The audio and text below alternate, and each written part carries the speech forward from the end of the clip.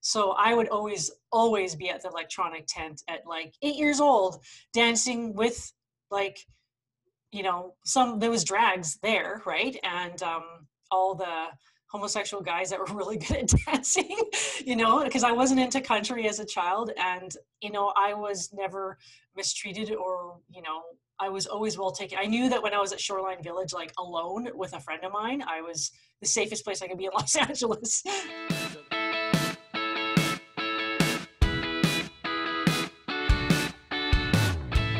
Hello, everybody, and welcome back to my podcast, Christian in Progress. My name is Samuel Perez, and just a little bit about myself I am a former gay stripper. That's right, you heard that correctly. I left behind the homosexual lifestyle to walk with Christ. And this podcast is all about how I do it, why I do it, and to educate people that are like me and people that aren't like me. I want to talk, but I really want to talk about what a life with Jesus looks like in 2020. And nothing is off limits, and I want to be as transparent as I possibly can be. So before we get started, I just want to let everyone know that this podcast is completely free to listen to, and we do accept donations, and we have some awesome rewards and gifts for those who want to become patrons of the podcast. If you're listening to this on Apple Podcasts or Podbean, click on the description down below and you'll find the link to become a patron of the podcast, which means you'll be making a regular monthly commitment. And we also have my link tree where you can find resources to give through PayPal, Venmo, or Cash App. So, on today's episode, we will be speaking to Nicole Gauss, and she grew up with two lesbians as her mom. And eventually, she had an encounter that, despite her childhood upbringing, she came to Christ. How are you, Nicole? I am good. How are you doing? I'm doing super well. Um, I'm so excited to have you on the show and to I'm talk super about excited this. as well. yeah. So let's just get right into it. Like you Okay. had two lesbian moms growing up. Like how did that work? Like did they adopt you? Um, did you have like a dad with the mom? Like what's going on here? What's the situation? I well, um, I have a mom and a dad, and uh, my mother, I would say, came out of the closet probably. I must have been around two or three because I don't have a memory of my parents together. And uh, from there, I actually had lived on a, a yacht with my dad, and my mom and dad had lived on a yacht. And my mom moved on the land, and she had a partner. And as a child, I didn't really understand or anything, but and I was too young to actually be affected by it. So I don't have that divorce effectiveness going on there so but yeah so that's how that's how this story starts That's really interesting. Okay, so your mom comes out. She's married to your dad. Um, she didn't know previous to that she had feelings for a woman, or did this just like spontaneously happen? Like, what was going on there? Is she bisexual? Uh, i don't think she's bisexual like i'm 100% my mom is not bisexual but i think she just didn't know she didn't know but she said that she got married because you know it was kind of the right thing to do back then. And she probably saw obviously saw something in my father that she loved right? Um, i don't know what her reasons um, she doesn't she hasn't really disclosed reasons of why she left my father but it for some reason it wasn't because she was a lesbian it was just for other reasons maybe just differences you know just we lots of people have a lot of marital differences too right on why they divorce not necessarily for those reasons but um you know she never explained it to me as a little kid because she knew i wouldn't understand she was very respectful of that Yeah. Okay. Cool. Mhm. So you had um, when you were growing up, it wasn't just you and your mom. There was another one of her partners. Like, did she have a long time partner when you guys were growing up, or or was she just a single mom for a while? Uh, no, she had uh, her first partner, who I absolutely love to death, and I and I still talk to every now and then. Um, she just wanted that lifestyle where she has a long life partner. She wasn't into seeing tons of people or living that kind of lifestyle. Okay, cool. Yeah. Yeah, and that's um that's really interesting because um I feel like a lot of people go through that. Um we live in today where I feel well, mostly your mom, she's kind of a rare case because this was a long time ago. This was before, you know, the LGBTQ movement and Mhm. um the acceptance of gay people in our society, you know, so largely through, you know, RuPaul's Drag Race, or, you know, mainstream media. I But knew who RuPaul was when I was a little girl, though. yeah, because that I mean that was kind of like his, Oh, his yeah, era. yeah. So yeah. um, for those of you who don't know who RuPaul is, it's a drag queen. So yeah, I mean that's it's really interesting now today. I know there's a lot of people who can relate to your story because, well, now there's a lot more children that are growing up who have a, a lesbian mom or who have two gay dads. Um, but back then, I'm sure it was much more rare. Um, it wasn't as common. Uh, but it's really interesting too because not only do we just have children who are in that um, situation, but we also have uh, parents themselves who want to walk away from their traditional marriages. They want to walk away from their wife or from their uh, husbands, you know, and they want to go and be in a homosexual relationship. So, um, and as we as Christians, we kind of really need to understand what how God works in that. So that's kind of why I wanted to bring you into the show. I wanted to talk to you a little bit about um, your experiences because, especially nowadays, Christians, it's crazy. They want to control everything. And I don't think we're mm-hmm. meant to control the world. I think we're just supposed to be the salt and the light of the world, and we're supposed to love people.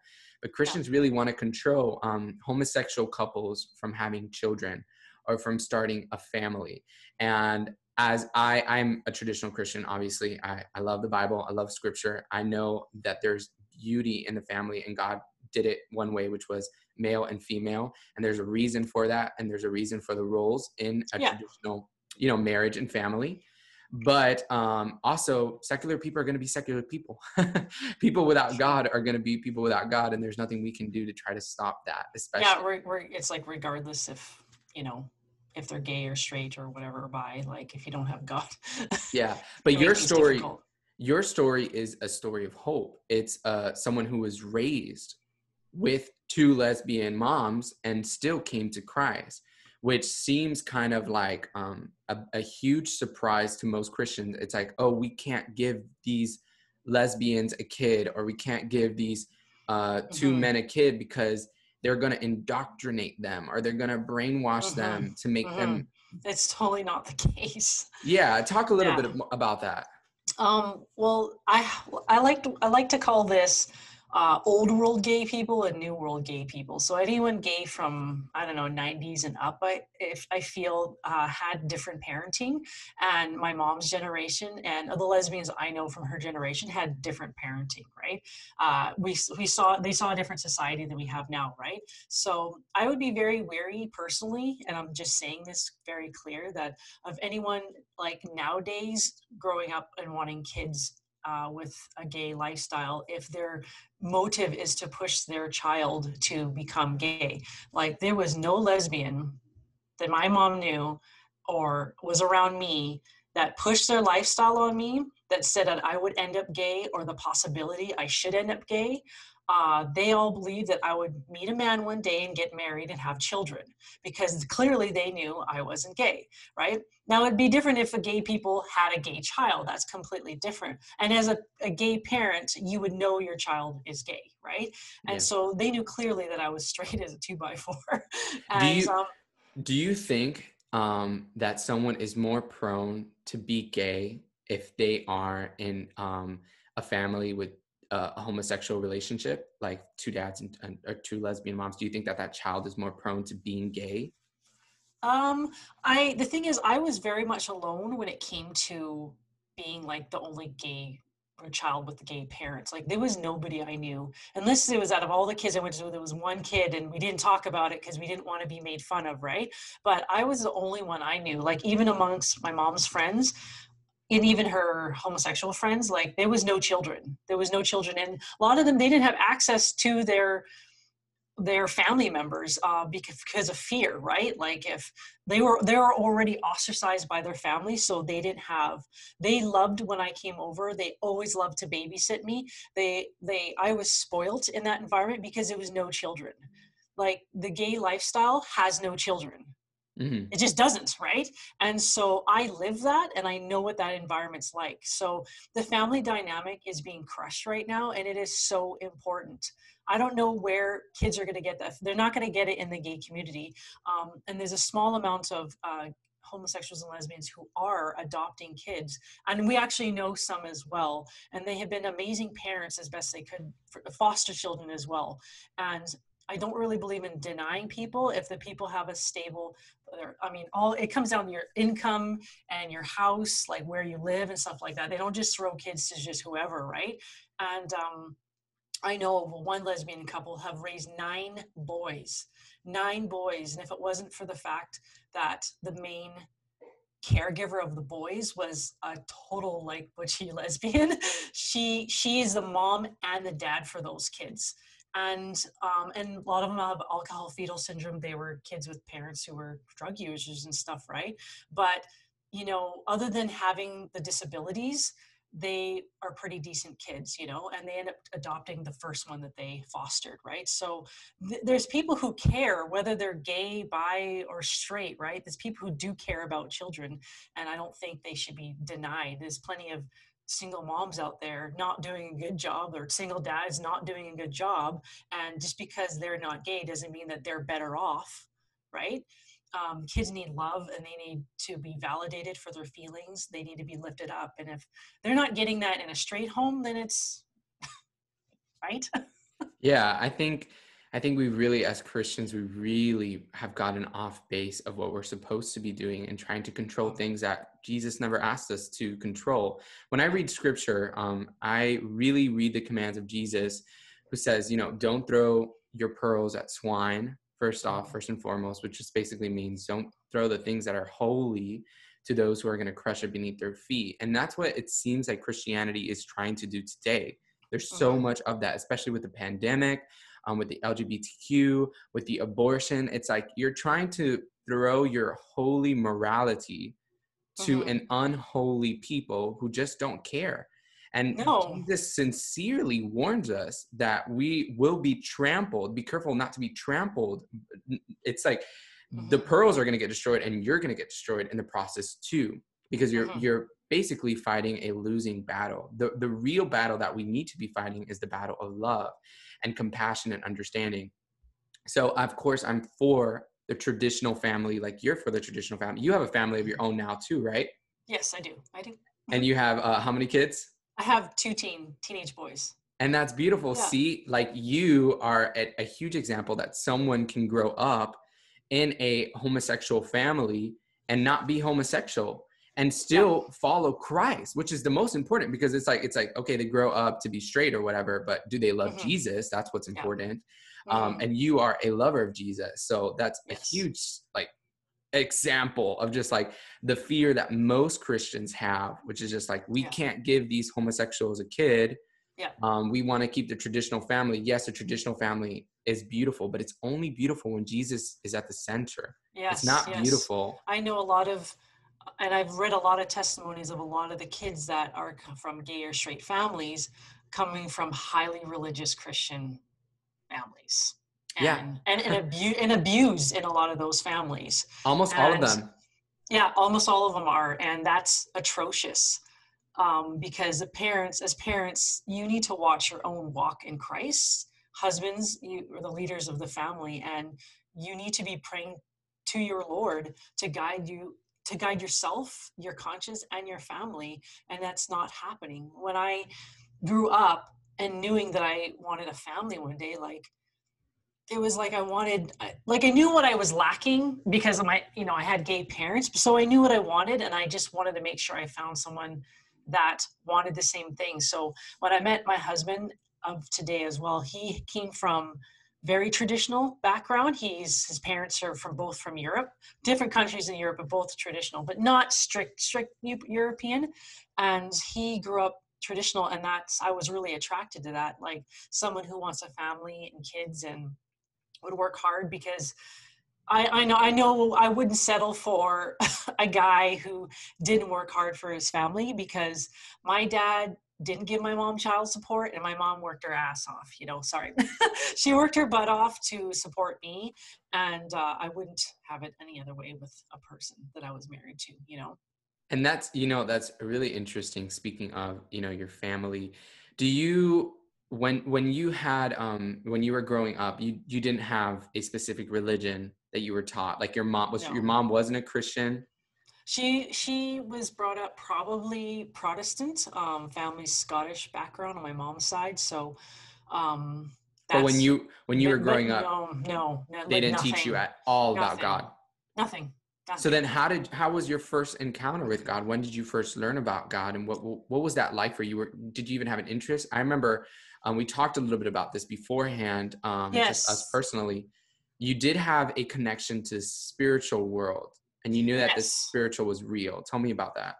Um, I knew it was real. Uh, well, I get it will happen when my encounter with the stuff I saw as a child would have been kind of solidified when I spoke to my husband, who's my now husband. He was my friend, and uh, he evangelized me about Christ. But he had demonic spiritual encounters, and he was the first person in my life who I've ever met that had the same not the same exact experiences, but it had actually come across demonic encounters, right? Mhm. It's funny, out of all those years I've known people, I've never had like a girlfriend who mentioned she see things or anything. I just was like, oh, so he was kind of someone to explain everything of what I actually saw and made sense of it, right? So I wasn't as, as a child tormented by spirits. I I am an artist, as you know, and I draw. I drew a lot of dark stuff. So like very very dark stuff. I didn't draw like houses and kittens and stuff.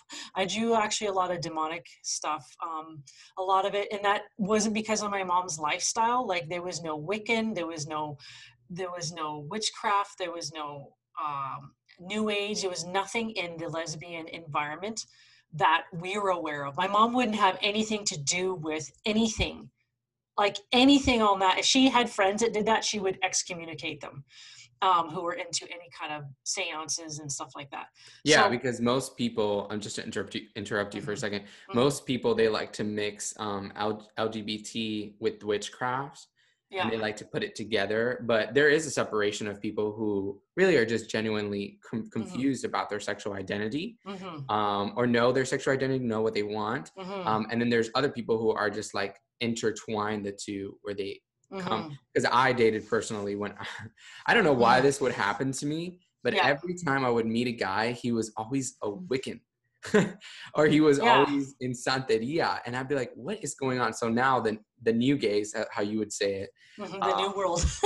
the new world gays they're they're Yeah. very much into witchcraft and manifestation and all these different things but i think i Mhm. think that's just honestly a lot of the newer generation as well but Yeah. um, Well, they have access to so much too, right? Like uh, the gays in the past uh, had to live a more uh, reclusive kind of Mhm. life and just keep to themselves. And most of the time, they can, they weren't like out there and you know wearing tutus and things like that. And like I've been to uh, several gay pride parades in Los Angeles. This isn't like small town. Like I'm from Los Angeles, and I've been to um, Shoreline Village gay pride festivals, and it was super low key. You had your raid tents, you had your cowboy like area, like it was all divided uh, per. Actually, it was a big like dance club, right, um, for music and stuff. So whatever, if you're into electronic, there was all that.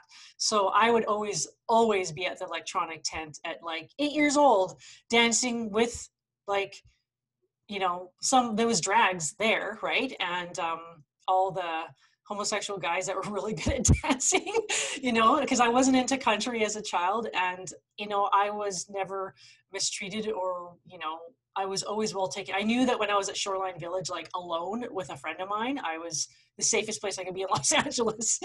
so then So- what was your first like kind of demonic encounter um that you Mhm. had that just like really freaked you out and you're like you're like oh this is real like there's a Um, spiritual world it was uh I would be in grocery stores or just common places like that. And I remember one time I was in the checkout with my mom and there was a guy just putting like eggs and milk on the conveyor belt, whatever. And he kind of just kind of like glanced at me and then looked back at, you know, what he's putting on the counter there. And his face went from like a normal human face to like a demonic face. And I would actually like start growling at people. And my mom would be like, stop growling at people. You can't just growl at people. I'm like, but I say, mom, he's like a bad man. And she's like, well, we can't just go around like, you know, doing that kind of stuff. And so I would see flashes of that in people. And the only thing that freaked me out is there was a movie back in the early 2000s called Devil's Advocate with Keanu Reeves.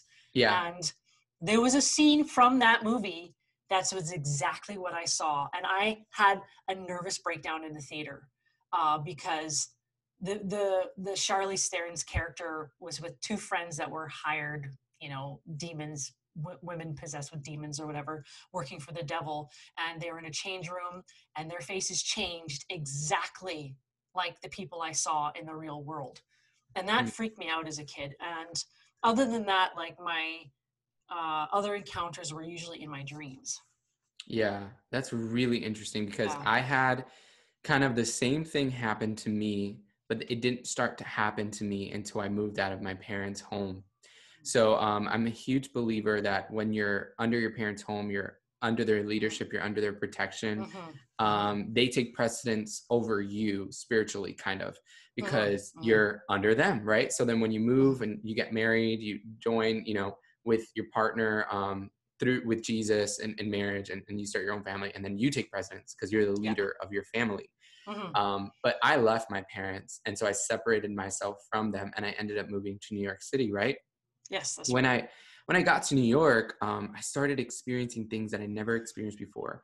I would have gut feelings telling me things were right or things were wrong. Mm-hmm. And it was it was much stronger than just like your conscience. It was just like my gut telling me this is wrong you cannot do this like you can't go there you can't talk to this person it was mm-hmm. really really that's pretty acute that's yeah it, acute. yeah and i've never been i'm not a i'm not super supernatural you know spiritual kind of guy like mm-hmm. even when i connect with god now it's very just through worship and um, sometimes i'll have you know dreams and stuff but i have mm-hmm. never seen demons never and i'm an mm-hmm. audio or visual kind of um, spiritual world person yeah. Um, and I don't really go looking for those things either. Trust me. Yeah. yeah. so when I when I when I got to New York, there's these people that would that would happen to me. I hmm. couldn't look at them in the eye because it was almost like I could see past their flesh and I could see another face behind them. That was okay. like overlay. Um, and it okay. was like demonic. It was like evil. Kind of like what I saw too. Yeah, it's so weird because you don't physically see it, but no. it's like it's like you can't it's like it's there. It's like, it's like it, but it's there. A good indication of time is seeing things out of your peripheral. That's a big yes, common thing where you're looking straight ahead but you actually see something walk by but right out of that weird lens like yeah. where how the you know how optometry works right? And because i have a friend who saw an angel but she's half blind in one eye but mm. she saw the angel with the half blind part mm. because she knows that her peripheral ends like about here, but yeah. she ended up seeing something past that. That's crazy. Yeah, I just I had never ha- that had that happen to me, and I do believe it was because um, I was out of my parents' home, and that used mm. to happen to me all the time. I I mm. legit could not look at someone in the eye if that would happen, and it would happen very often. That's crazy. Yeah, yeah. I would have to look away, and mm-hmm. one time when it was happening, I looked away. I looked down, and the guy who I was talking to had this tattoo that was like a Satanist symbol. Mm, and then I mm-hmm. realized, oh, I'm not going crazy. No, there actually is things behind them. And I, I yeah. was like, so I picked up on that. But then when I came back home to live with my parents again after mm-hmm. my huge suicidal thoughts and depression, everything yeah. that I went through, my testimony, um, all of that went away. It was it, mm-hmm. like I don't get those gut feelings anymore. I don't see those things anymore. And I think mm-hmm. like when I separate myself from my parents again, mm-hmm. um, those things are gonna like the highly acute like um, spiritual mm, is gonna increase in me when I get married or when I move out, you know, whatever mm-hmm. the case is. But anyways, yeah. that's really interesting. So mm-hmm. when you spoke to your husband mm-hmm. and he introduced you to Christ, was it like, oh, I'm really hungry to hear about this? Or, you know, what was your experience? What made you want to be like, I want to be a Christian? I want to accept this. Um, I guess I'd have to say like my understanding uh, right off the bat was, and other people need to realize too that if you don't really know, how you're you supposed to really know? And I didn't know for a long time. I knew who Jesus was, and I knew what he's done for mankind, but it's kind of like I almost didn't actually know. And I remember I was going to North Shore Alliance Church in North Vancouver, and I had some friends that in, introduced us to that church. And I remember just you know when the pastor says like if anyone needs to come up and they need to be prayed over like come to the front of the church right and kneel down or whatever right? And i remember like being really afflicted and going and and just bawling my eyes out of the front and almost not knowing why why i was crying so hard. And my friend who went to the church with us came down and she prayed uh, prayed over me. And i said to her like after we were done we went back and sat down and the service was over i i was still a mess because i was like i'm not getting it. Like i feel like there's something i'm not getting. And from there i end up signing up with a home group. And the book that was featured in our home group was stranger on the road to emmaus and it was about it was like since maybe because i'm an artist i needed that imagery but it was like a gap like a crevasse or like a gap and you're here and god's here and there's no way to cross that gap. And then there was a and then the symbol they used was like a cross. And because of jesus' death you were able to walk and he was the one who bridged that gap. And i was like oh my gosh i finally get it. Like all this time it was literally this. I just needed to see because i'm so visual i needed to see an image of like what it what is okay he died but like I didn't know what sin was or the idea of it. Like I wasn't raised Christian, right? So mm-hmm. I wasn't, you know, when my mom told me to not, you know, have sex before marriage, to not do drugs, to not to be to be have a person with integrity, to be kind, to be loving. She didn't say any of these things because she had a God idea to scare me into doing it. She just said be a decent human being, right? When you when you do the God scare tactic, if the kids don't know God, and and as a parent you're being kind of a douche and you're a christian parent being a douche and that's your only that's their only model right? But my mom were through you know custody battles fights with my my my father you know living you know on the verge of impoverishment she kept her dignity and her stoicism i guess throughout all of that. So she was my example right? And so yeah. i just feel that uh what I finally understood, I mean, getting to know Jesus is a long process than just like, you know, opening up a book in home group. At the same time, like you have to enrich your relationship with him. And so, but that was, that's when I was like, okay, I can, I know I still don't get it, but now I get exactly what he did. We can't get to God. Doesn't matter who we are. He is the narrow gate um, that we must pass through. And that's yeah. I figured it out. And so how did you feel now that you had learned about the gospel and you started reading scripture and you started seeing all these things about homosexuality, what were you first thinking? Was it difficult for you to think, oh, God says this is morally wrong? Mm-hmm. Um, how do I feel about my mom now? Am I going to yeah. speak to my mom about this? Yeah. Am I not? Yeah. Like, because you didn't know what sin was beforehand. So no. now it's like, oh, how am I going to have reconciliation with this? Yeah, that was, I struggled with that for a long time um, because I didn't think it was fair. And it wasn't until I saw, like, I struggled with for many years, right? Because you got to think, I just found you on YouTube not too long ago. And the whole idea with gay people seems so unfair, like maybe for alcoholics and drug users or people whatever other sin there's it's like easier when it's like who like who says it's easier to get off drugs? It's not easy to get off drugs or alcohol either right? And that's just me being naive and not knowing any better. But i just struggled with it because you know i obviously i want my mom and people i care about to go to heaven right? So I just didn't feel it was fair because I feel that gay people didn't have a choice. And if they were born that way, it was like then that's the way you are it was like um you know being born with an arm missing or something like that uh and that's back then like i thought people were just born that way right and uh, and I didn't and not knowing about sin, like what would I even know at this point? So I struggled with that with a long time, and especially from the words of my dad. You know, he took me to church or tried to take me to church, and it was like I was racially awesome. I was spit on in Sunday school, so for just being mixed race. So it was like church for me. When my dad tried to introduce me around eight or nine years old was not a good experience, and um. And my, no one was going to mess with my dad. He's like a six foot four black guy he was in the Navy. Like no one's going to say anything to him either. So he would say to me, you know, taking me back to my mom's, like, you know, your mother's a lesbian and, you know, she's, she's going to hell then. And I just felt that something was off about that. Like, it just seems so like, okay, so that it's just that easy then. It's just like, well, you're gay you're just going to hell and you're not so you're fine. And then not knowing any concept of sin you know my dad is still a sinner still saying this right? Everyone who says that stuff is still a sinner you know? Yeah. And let's talk was- about that. Let's talk about that because we feel i don't know i'm constantly um same with you. It was really difficult for me same thing Mhm. i was living it but you Yeah. you had someone who was going through it in your life. But me living through it i, I just kept asking myself i'm like it does seem very unfair because i didn't Yeah. choose this i didn't choose Mhm. to have same-sex attraction um who knows whether it came psychologically or whether um, Mhm. i was born with something in my dna or something yeah I don't know. Whatever happened, I didn't choose it. I'm just Yeah. here and I'm dealing with it. So I, for many years, I too was like, God, this isn't fair.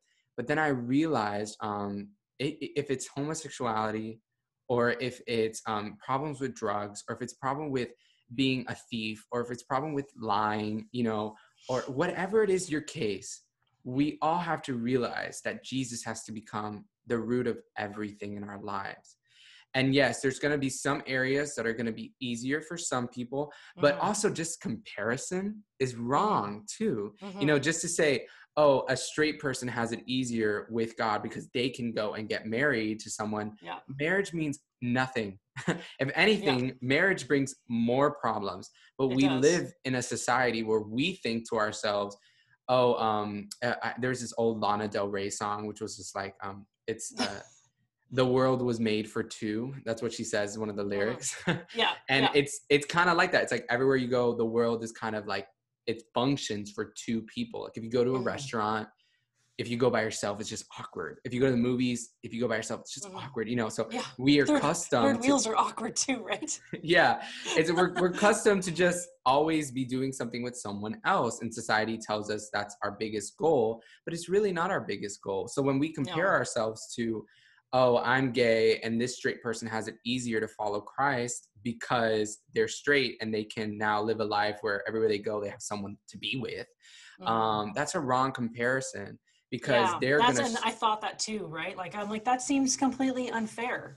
Yeah, it- but it's a wrong comparison because It's you know wrong, yeah. what? They ha- have their issues that you'll never get to go through. So, for example, for Mhm. me, um, I love being single in this season of my life. Do I believe that one day I'll get married? 100% Mhm. yes. It's been prophesied. And I Mhm. do believe I'll meet a perfect woman who is going to love me for who I am and it's going to be beautiful and we're going to start a family. That's one of my goals. But if that never happens, I don't care because I'm like, my main goal is Jesus. Like Yeah. he is my lover. He's my everything. And that's the way we need to fix our mind is not comparing ourselves to things or other people who have things that might seem easier. Yeah, But in reality, it's not easy. Everyone is fighting their own battles. it's you a grass is greener mentality as well. You know, whether you're straight or gay or or whatever sexual identity, you- it's it's you'll never find perfection in another person, Yeah. and people are looking for other people to validate their life or make them happy Yeah. and that's not the case. You have to strengthen your walk with god. And um, you know many people who are even straight and not just gay people are not walking with the lord and and they're having a hard time. And it it makes me really sad you know because you know i've been there. You know i've i can't say that i haven't struggled. You're obviously you've you've been there as well. The thing is you know god's leveled the playing field when everyone who's born into this world is born into sin. That's where this whole you know like pointing finger narrative that just doesn't die right? But that's the enemy also playing with you. Like when you Mhm. do that you're getting played by the enemy in the end. If you use your jesus titleship or knowing god titleship to um accuse others to belittle others because somehow you think you're great you're being you're getting played in the end right because that's Yeah. exactly what he wants he wants the most people to be he wants people to be abused by christians or mistreated by christians or whatever right because then it's just going to make everything to do with god and christ look bad god always has a victory in the end we know that right but yes.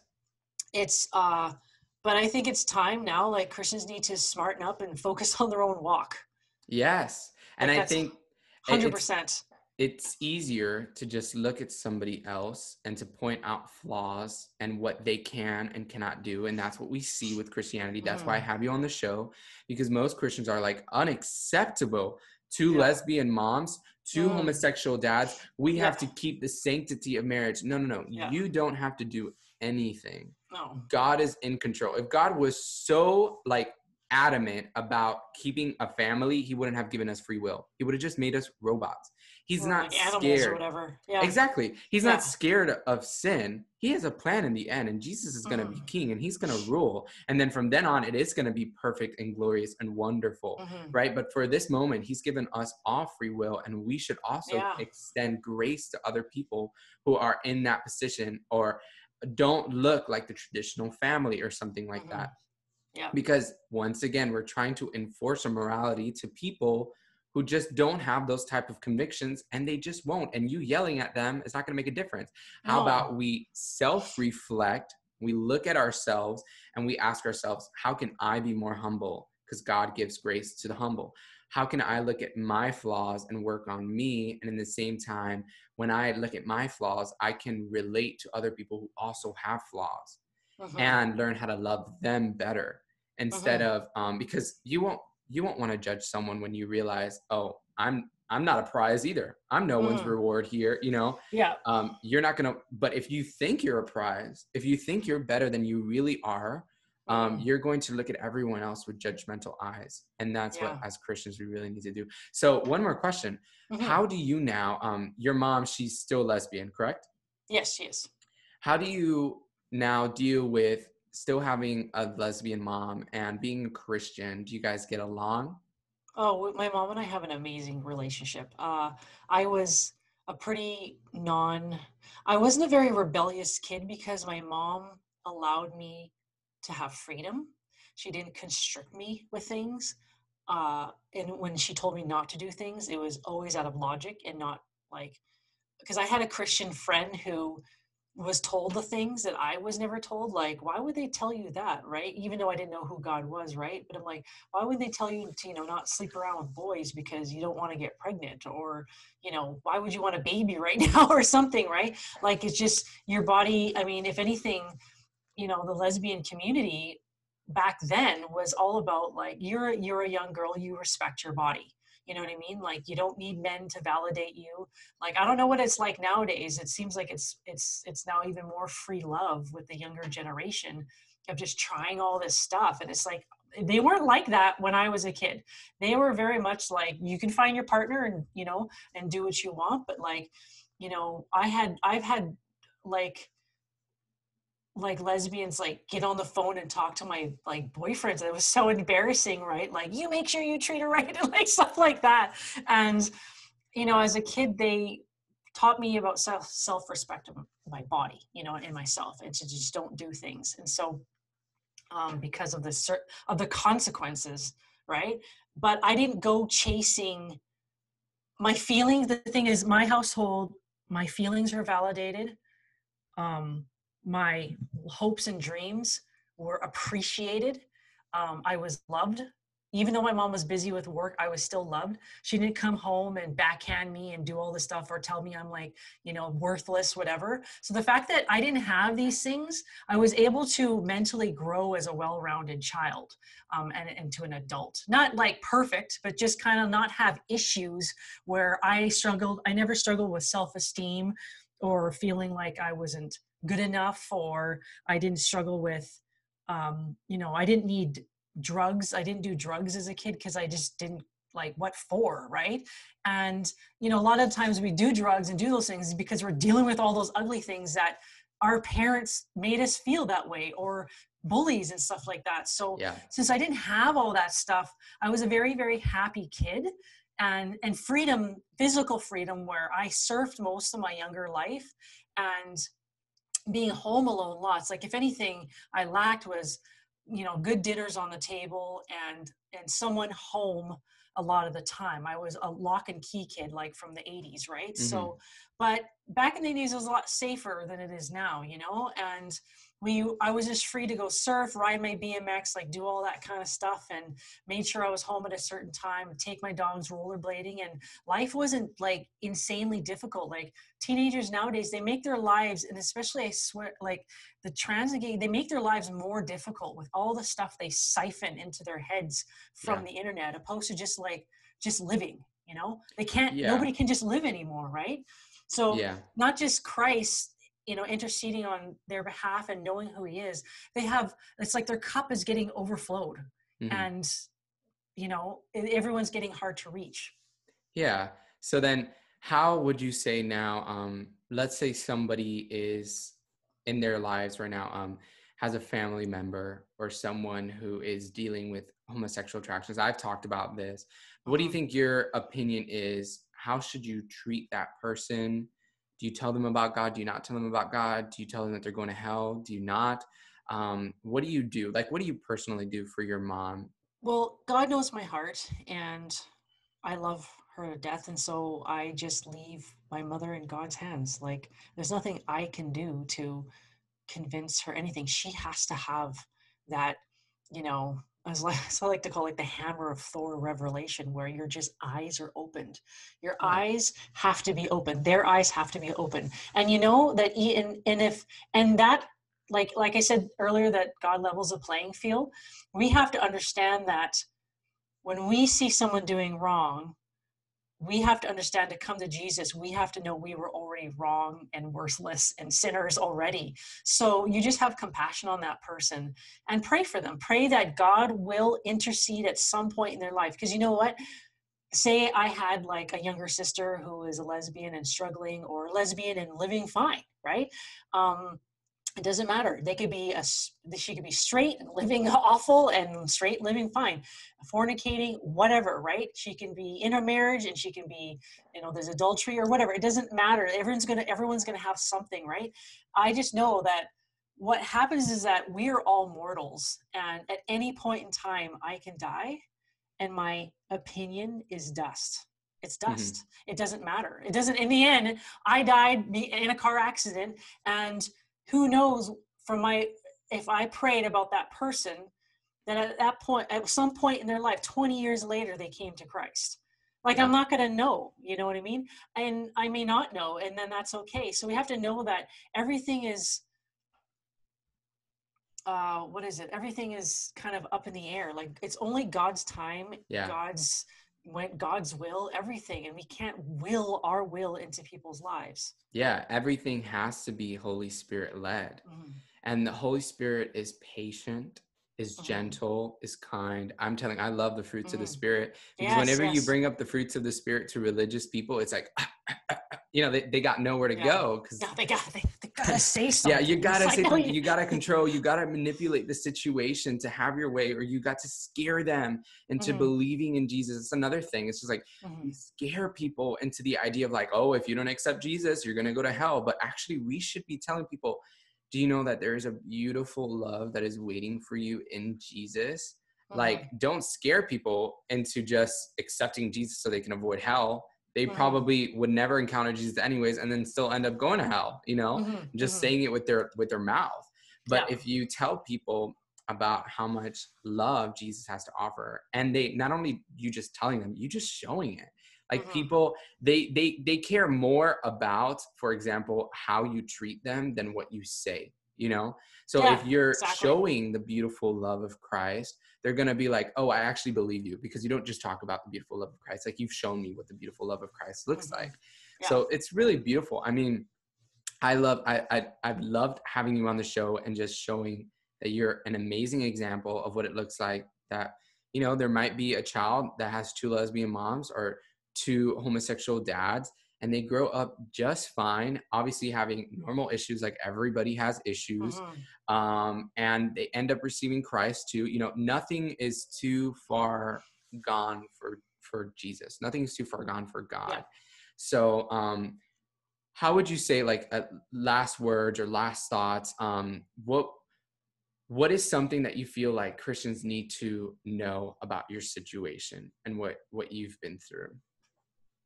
um, to know that that even myself who grew up in this lifestyle and not having any real like truthful access to who Christ was, you know, I don't know who prayed for me. I don't know if God just like, well, I'm gonna I'm gonna see what that one thinks about me, you know.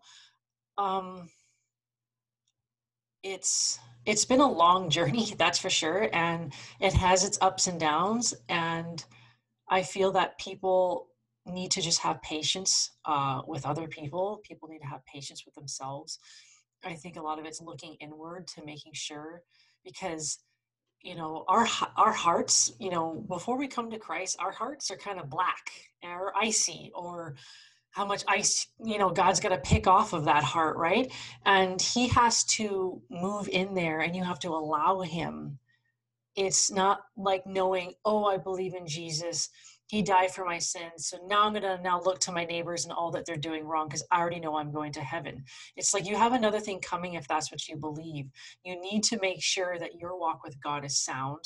Mm-hmm. it's a daily thing. And you know i got to the point where you know it was very hard. I've been there. I've been hard there when it's hard to read the bible right?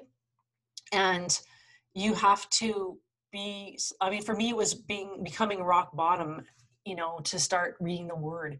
And the more the enemy tells you lies about who god is mm-hmm. big time. And i got a book from someone it's called god i want to know you. And that was a huge eye-opener this book because a lot of people you know you see all this bad stuff in the world and you're like why well how do i deal with this you know? And prayer is your weapon. Like you're not supposed to fight. God is the one who does the fighting. And yeah. if people have strongholds in their life with sin, there's something behind that holding on to them in, regards to i'm not talking about like like possession or stuff like that i'm talking about yeah. that everyone comes with a stronghold that they get they acquire they go out and chase or whatever and it becomes a stronghold right like i'm not saying like babies have strongholds and stuff like that like we develop this stuff and we allow things into our life or we do things that allow sin into our life and people mm-hmm. who don't mess with witchcraft don't sleep around or whatever and you get people who are you know virgins or who don't but they're still they they they still they're still sinners you know what i mean? And sometimes those people wish something bad would happen so they can have that and a lot of the people who've had bad stuff happen they're like you don't want to wish that. If you can refrain from being affected emotionally and physically from the harm that other people have that's beautiful and that's okay right? So the main thing is always yeah. just prayer is prayer like, is prayer prayer is going to be the yeah. one that's going to make the way for yeah. for example yeah. your mom and then also just mm-hmm. releasing mm-hmm. things up to god yeah like, like letting, letting, go and even even if you have like say you haven't looked at your own walk and you're struggling with like a aunt or, or sister who has it's like it's not about what you think about them. God knows what he thinks about them and that's important. You need to just ask your own self like what am i struggling with? Where can i find grace? Speak to god before you speak to other people. That is so important. Yeah, i can say if i can leave anything with this conversation is if you feel because sometimes if you're wanting so badly to talk to somebody about whatever they're doing wrong a lot of the time that is just your flesh. Mm-hmm. Or self-reflection and, too and, yeah self-reflection like you, you or, see something that you don't like about that person because yeah. you have it inside of you too i've, I've found yeah. that the most mm-hmm. homophobic mm-hmm. people are the people who are really against lgbtq mm-hmm. um, which we should all always have a morality against what we believe to be right these people who are like really attacking violent like angry yeah. they're not yeah. fruits of the spirit um, no. mostly it's because they themselves have things inside of them that are leaning towards yeah. you know gay attitudes or it's called projecting behavior isn't it isn't projecting it? yeah sorry self-reflection i don't know yeah yeah well no they haven't self-projected self uh, reflected because they're projecting at that point but yeah even just having lots of self-righteousness and thinking that you need to say something to somebody when all you need to do is just pray about it. If so, it's almost it. like yeah, if someone's going through something and you feel it's wrong, if anything, you should have love and fear for that person and concern, not yeah. judgment. You need to say, you know, God, so they're doing something that's going to be detrimental and harmful to their life, yeah. whether it's drugs or you know, you know. And you knowing, you knowing that no matter what you say is not going to change that behavior. It's no, just exactly. it's you being Holy Spirit led to prayer and then letting yeah. the Holy Spirit make the way, make the path, make the opportunities for you to yeah. enter in once you've loved that person. So yeah. um that's you know it's it's really beautiful. I'm so glad to have you on and I'm so glad to have these types of conversations because there's so many people out there who are just so against everything and we really have to open up our minds a little bit to say, "Oh wait, mm. God is in control." God knows what he's doing in this child's life. God knows what he's doing with those two lesbians people. You know, you never know what. You're not God. That's that's the Mm. whole thing. The only thing that as Christians we've been called to do is to instruct people. Number 1, to tell people about the gospel, the good news. Yeah. And to to love people and to love God and then also to make learners, to make disciples. And Mhm. if you don't know how to love yourself, you haven't taken care of your issues, then you won't be Mhm. able to make learners. You won't be able to make disciples because you won't be able to love them. And at you can't love yourself if you haven't accepted the love of Christ Mhm. because that's all he does. He just literally Mhm. wants us to know that he loves us. That's Well, the gospel. Exactly. And being guided by the Holy Spirit when God does, the Holy Spirit does prompt you to say something. Of course. If the Holy Spirit speaks through you, it's going to be way more impactful than your own flesh speaking to them. Like if you speak out of your flesh, you're going to mess up. like I Exactly. guarantee, you know? yeah and Yeah. most people trust me when you when I, I i really have seen that the issues are really the least things that we need to focus on it's Mhm. really how we can accept the love of jesus and how we can walk in that love and how we can get closer to jesus that the issues start to fade away and i think i think that's what Mhm. religion focuses too much on these issues to the point where i have to go on youtube and make a whole video about a, a woman who has two lesbian um, um, moms Yeah. because we're so issue oriented instead yeah. of yeah. and this video is going to do a lot better than if i went on the internet and just talked about god's love because some Yeah. people are so consumed with just issues but Yeah. that's why we do what we do to Yeah. point people to hate it's not about the issues it's not about the homosexuality it's not about the Mhm. sin it's about the Mhm. good news it's about the love of jesus let's fall more in love with him so thank you so much nicole for coming You're on welcome. the show You're welcome. I love having you. I love having you as a friend. Um, you do some Twitch streaming where you're currently an artist right now. So, sh- Yes. so you're yeah. married, you have kids, wonderful, Yeah. beautiful family, Yeah. Christian family, and Yes. you also stream on Twitch. Tell me just a little bit about that before we go. Uh, yeah, I'm a character designer. Uh, I was a character designer for television for many years back in the early 2000s, and I have been drawing my whole life, and my husband as well, most of his life, and we're both in that industry. Um, and yeah, I just draw live for people, and it's a lot of fun, and it literally brought me back to like you know being being a mom. I love being a mom, but I found that and and I used to go to comic cons and stuff like that and do and do like just meet people. I love meeting people. I love meeting other artists, and so I find that Twitch is an amazing platform to meet other artists Yeah. and just meet people, help people, reach out to people. I love talking to people, see how their day was. Like I just I have such passion for people. Like I just I Yeah. I'm a, the type always sees the good in people, you know, and and wants and wants the best for others, you know. So, where can people find your Twitch? Uh, BMX Shark Art. BMX Shark Art. All right, Yes. awesome. And I'll Yeah. soon be joining you on Yes. Twitch too, and we could Yeah. probably hopefully collaborate. I just Yeah. started a Twitch channel. I haven't put anything on there. I'm just testing things I out. know it's always slow, the slow startup, right? Yeah, but I'm so excited to jump on there and kind of do my own little thing too. My username currently on there is burritos and Jesus. I love it. I absolutely I'm going to be talking about food and Jesus at the same time, making good Christian entertainment.